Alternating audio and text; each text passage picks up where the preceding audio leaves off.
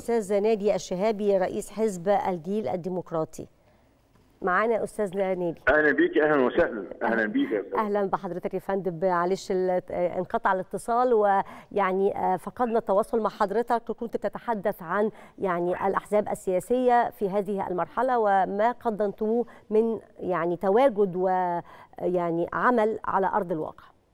يعني هو الأحزاب السياسية هي رقم صحيح. هذه في هذه المرحله في ظل الانتخابات الرئاسية التعددية.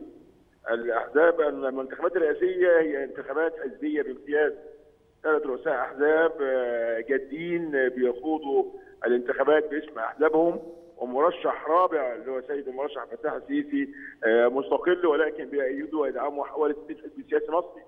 هذه الأحزاب السياسية ما بين حملاتها الأربعة خاضت آه، يعني غمار المعركة الانتخابية الإعلامية والدعائية ونزلت إلى الشارع المصري في طول البلاد وعرضها من أسوان إلى دمياط ومن مرسى مطروح إلى القاهرة عقدوا المؤتمرات الحاشدة وعقدوا فعاليات متوسطه الحضور وحثوا الجماهير على المشاركة في في في الاقتراع على أساس إن هذه المشاركة هي تعتبر خط دفاع أول عن الدولة المصريه وهي تواجه كل التحديات الخارجية وهي تحديات تهدد الأمن القومي للبلاد. لذلك إذا شاهدنا اليوم آه، مشهد إقبال كثيف غير مسبوق لا محليا ولا خارجيا على على التصويت آه، في آه، اليوم الأول والثاني ومتوسطا في اليوم الثالث فهذا فعل عدة عوامل.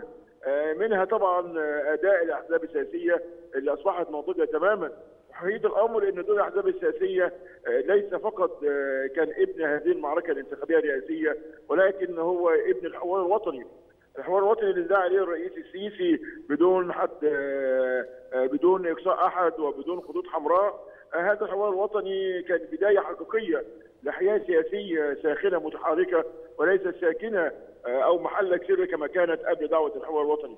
ولذلك كانت أعظم تمهيد للانتخابات الرئاسية الحالية هي تلك هو الحوار الوطني وما وما شاهده من حوارات ساخنة. في قضايا حوالي 113 قضية خلال محاور ثلاثة هي كانت آه، فعلا أعظم تمهيد للانتخابات الرئاسية فجاءت هذه الانتخابات والحياة والحياة الحزبية في مصر متحركة والأحزاب بتسعى إنها آه، تلعب دورها كمكون النظام السياسي في البلاد ف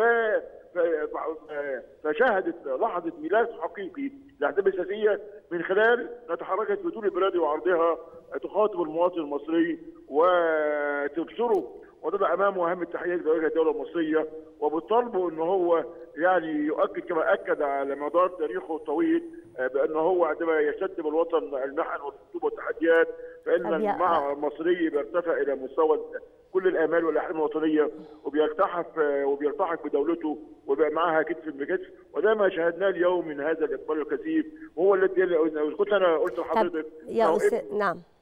ابن الأحزاب السياسية وحركتها وأيضا ابن الإعلام المصري، الإعلام المصري لعب دور هايل جدا آه، في تحريك الناس وبالهز حزب الكنبة من من جذوره عندما دخل إليهم إلى بيوتهم وأبصرهم بالتحديات التي تواجه الوطن وعندما أيضا أعلن اكد لهم أن أن الانتخابات بشكل محايد لأن الإعلام المصري نجح في أن ينقد صورة محايدة لكل الحملات المرشحين الأربعة بشكل محايد وبشكل أكثر من رائع بأن شركة الخدمات الإعلامية ودي شركة خاصة منحت كل مرشح من المرشحين الأربعة وحملاتهم 100 دقيقة مجانية لذلك كان أحد أسباب هذه الكثافة اللي شاهدناها في اللجان أو أمام اللجان أو عند التصويت كان ابن الاعلام المصري ثم العامل الاهم وهو الإدارة الذكية والمحايدة للهيئه الوطنية للانتخابات التي أعلنت منذ اليوم الأول إنها تقف على مسافة واحدة وإنها لن ت... وإنها سوف تدير انتخابات حرة ونزيهة وطبقا لاعلى المعايير العالمية. نعم لذلك الإعلام الغربي عندما حاول كان بيئه الصورة